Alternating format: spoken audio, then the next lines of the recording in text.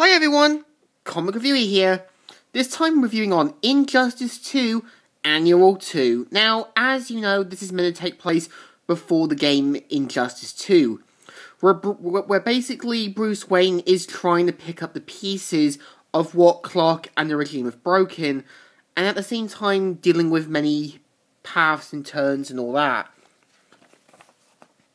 So it starts off how someone says, then too much was lost, too much was taken, too much was broken. And so you see Bruce busy on Brother Eye, and this is basically his way of coping after Alfred left.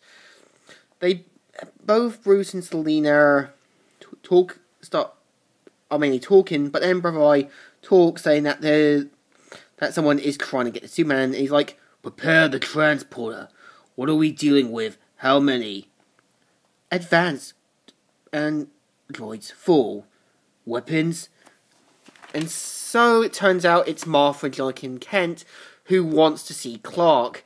I get it, they want to see Clark and show know, no hard feelings, but their son murdered half a dozen people and killed innocent people. He's like, Martha Kent? Hello, Bruce. I'm sorry, no one sees Clark, it's too dangerous. But mainly she decides to go, and Selina decides to go with her just in case. Jonathan decides to, you know, let Bruce come along into his truck so they can have a drink together. So introduced many years ago, where Bruce is hosting this charity fundraiser for refugees, and meets Selina there. But suddenly Bruce Wayne gets shot, Selina sees what's going on, rips off her stuff, goes through to see the window, amazing that it hadn't cut her or anything. And so she goes to confront that it's Deadshot, and he's like, oh, what the hell? Ugh, I don't know what this is, lady, but I try to only kill who I'm paid for. So yeah, due to the fact that she's not wearing shoes, this makes her vulnerable as a giant lightning rod. So, pretty much we're introduced to the Daily Planet, where Lois points out the Clark that Bruce Wayne had been shot and news came over the wire. So Clark decides to get into action and goes as Superman. So after meeting Dick Grayson, it turns out that Bruce is alright and that they've got other heroes and people keeping a close eye and making sure everything's alright. So Selina and Clark decide on what to do about Bruce, and he says, more of a fortress. So they decide to take him to Smallville, but why not the Fortress of Solitude? But I get that it's a bit more less obvious. And like, and and Clark introduces him his parents to Bruce Wayne, and they're like, "Welcome, let me take the, their luggage. I can manage, M- Mr. Kent. Of course you can. Not trying to undermine you, All just being courteous. I love how with, like, Martha Kent, she brings up the fact that Lana used to sneak in to Clark's room when he was a kid. I like how he's thinking, oh, do you have to really bring that up? So, pretty much, Clark has to, you know, make sure Lois is alright. So we're introduced at the cafe where one of a guy called Benny shows up saying, I swear, they knew. I need you to breathe. Take a seat. I think they followed me. Did you get it? The way they were looking at me. Benny, did you get it? Yeah. And he points out that, you know, you know, like, I shouldn't have joined them. I knew I, I just had to get out.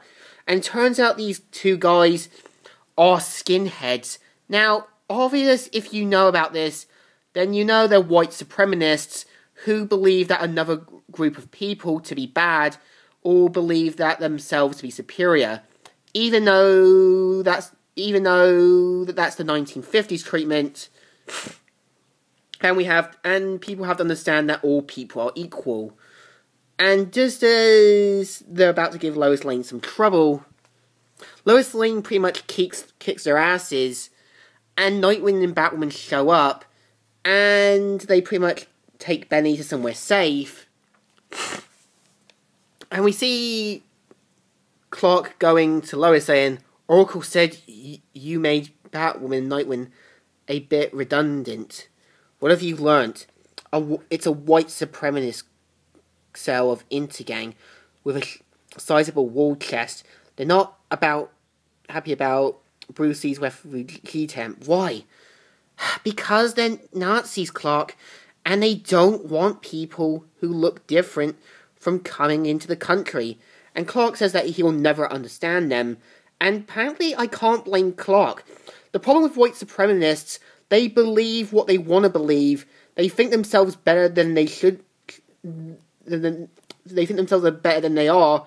But in fact, all people are equal, and people deserve a second chance in a different country. So we introduced late at night, where Jonathan and Bruce are talking,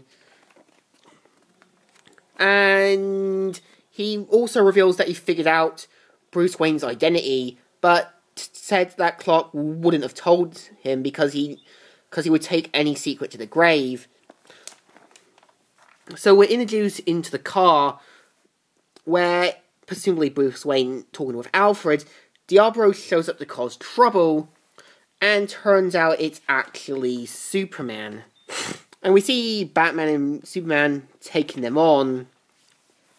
And after this, Bruce Wayne congratulates Lois and Clark for helping them and pretty much putting things right.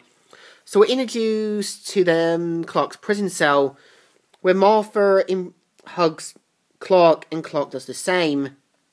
But they mainly have a word to word talk saying, Now, is it, how is it out there? The world? Oh, it's getting along okay without you. And he says, Where's Pa? But he says that he's talking with Bruce Wayne.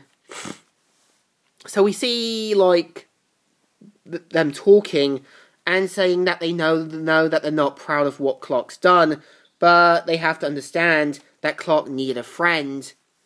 And also the fact that, you know, that that we're all children and sometimes doing the wrong thing for the right reasons is understandable. So we see Batman talking with Clark, and Clark's like, "Do you do you do this slight staring thing with everyone you put away? Because that might be why so many of them go mad, Bruce." So we see that Bruce is finally now accepting that you know I need to talk with Bruce with Clark properly, and he says, "I don't think I ever." I'm so sorry, Clark, about Lois. And he says that, you know, I'm sorry I wasn't, I should have been better. But again, Bruce was doing the right things for the right reasons. Clark and the Justice League let things get to their heads, and Bruce was trying to make sure things things didn't go too far. But he does admit that things would have been a lot a lot better had Lo- Lois still been a part of it and leaving the story as an end. So, what do I think? Definitely a good annual and definitely a good story. You can tell that Bruce wants things to go back to the way they were, but sometimes wanting things to go back to what they were can be difficult. And I think Clark, I can understand that Clark is upset, but I think Bruce is more in the right because he's trying to make things right and trying to put things together. So this issue deserves a thumbs up. Still good and still alright. So, Comic Reviewer here, signing out.